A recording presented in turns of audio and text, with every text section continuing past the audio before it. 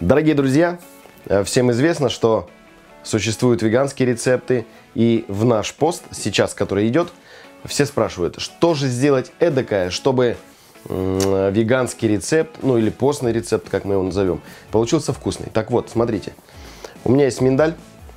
Это будет такой лайфхак. Это вот такой обычный миндаль, не жареный. Вы знаете, как его чистить? Ну, кто знает, те знают. А кто не знает, я вам сейчас покажу. У меня на плите вода. Ну, то есть это просто я ее поставил на огонь, и она закипела. Вода должна быть кипящая. И заливаем миндаль кипятком. Прям самым настоящим крутым кипятком. Так, чтобы кипяток полностью покрыл миндаль.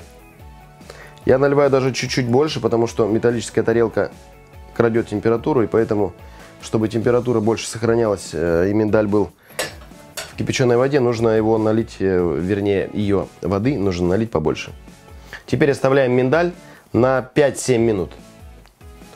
Прошло 5 минут, смотрите, вода стала коричневой, но она красится вот от э, цвета самой кожурки, поэтому она нам не понадобится. Хотя, возможно, есть какие-то полезные свойства у верхней шкурки миндаля, и может быть это чудодейственное зелье какое-то. Но мы это, конечно же, выливаем. А миндаль тем временем, смотрите, что с ним происходит. Вот мы берем, оп, Эй! Короче, вот так вот. Он просто-напросто чистится. Оп. И мы получаем беленькие красивые орешки. Они нам нужны для чего? Для муки. Если это выпечка, можно их потом просушить, обжарить и употреблять так. Шкурки тогда не застревают в зубах. А я буду из этого миндаля делать миндальное молоко. Буквально пару минут и миндаль почищен. Теперь мне понадобится блендер, в который я и отправляю весь миндаль. Смотрите, у меня здесь одна и, соответственно, две полные пригоршни орехов. Теперь мне нужно добавить воды.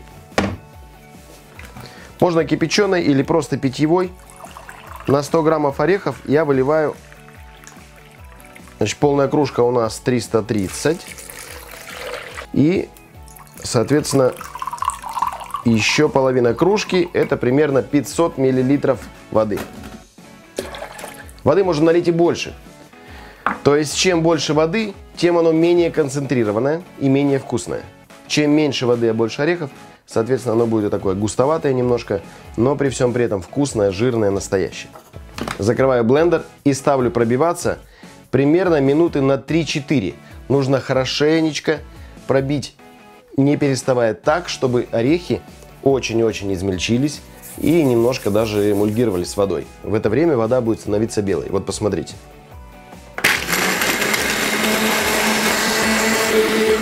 Да, прям пахнет миндалем.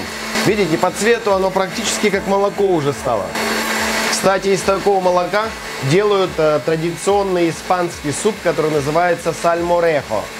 Он делает из миндального молока. Добавляется сразу уксус, чеснок, оливковое масло, соль, перец, а потом подается вместе с виноградом.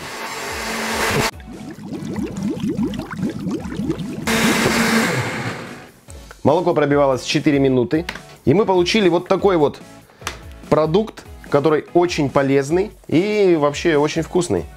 Кстати, миндальное молоко можно использовать для приготовления капучино, латте, то есть заменять коровье молоко для тех, у кого там проблемы с лактозой, кто веган, кто на посту и так далее. Смотрите, оно получается идеально белого цвета. Великолепное по вкусу. Вот как будто ты ешь миндаль, только в воде он весь распускается и даже и пенку имеет. Она становится такой маслянистой, жирной. Вот ореховое масло выходит внутрь. Кстати, молоко можно делать такое же из фундука, из кедрового ореха, кедровое молоко называется, из кунжута. Можно делать из э, пекана, можно делать из макадами, из любых орехов, можно прекрасно делать любое молоко. Единственное, что из кедрового оно тоже будет белое получаться, а вот, например, фундук его сложнее чистить. Или макадамию, очень... А, макадамия белая, кстати, получается. Кто он? Пекан. У нас получается пекан очень сложно чистить.